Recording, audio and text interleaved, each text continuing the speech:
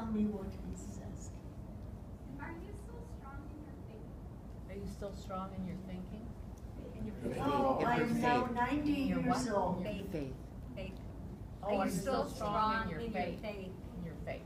In In my Judaism? face, no, I don't think so. Faith, I- I- faith. Faith in your Faith. religion. In Your my religion. faith, yes. Faith. In my faith, I don't know. I am an old Faith lady your that faith. is schlepping along and F-A-I-C-H. I know. Oh, okay.